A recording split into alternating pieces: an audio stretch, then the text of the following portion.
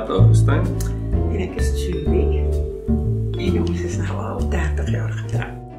Nou, ek kom uit 'n huis uit waar my ma baie sterk die leiding geneem het. En die gevolg is ons gaan trou het toe is ek maar redelik passief gewees in verband met ehm um, inisiering van konflikhantering en net enigiets wat te doen het met gees geestelike dinge in die huis. OK, my verantwoordelikheid opgeneem rondom Bybellees en sulke tipe dinge nie. En ek het redelik net reaktief opgetree.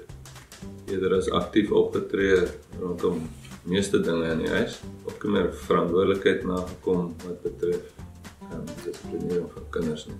Ja, was my gerieflik om so te lewe. Ek my aangekap, was in my comfort zone en ek het eintlik maar gewag dat my vrou die dinge moet doen, aangesien sy ook sterk leiding geneem het in haar werk en in haar lewe, so ek haar geken.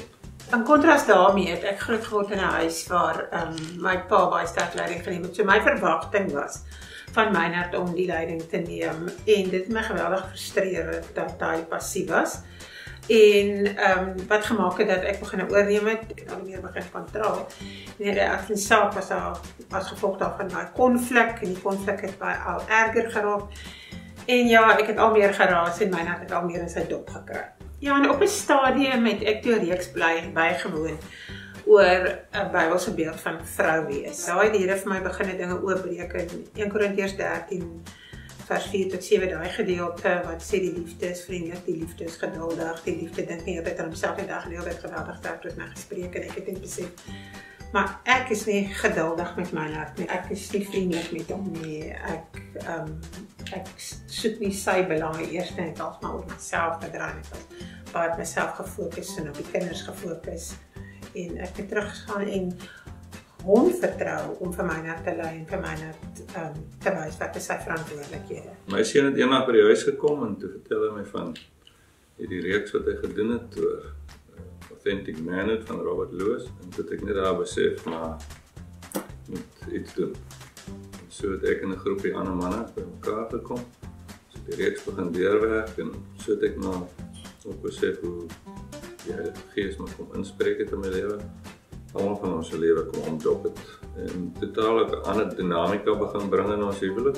Um, nie ongelukkig nie, maar oor 'n verloop van tyd. Ek het toe my hart uh, begin anders optree in ons huwelik. Het ek baie meer sekuriteit ervaar. Dit het nog vir my altyd 'n groot issue.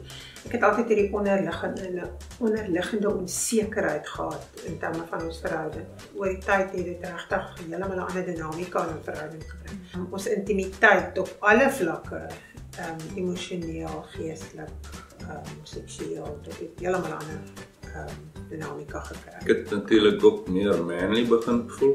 Dit uh, manne wil ook maar erken word deur sy vrou.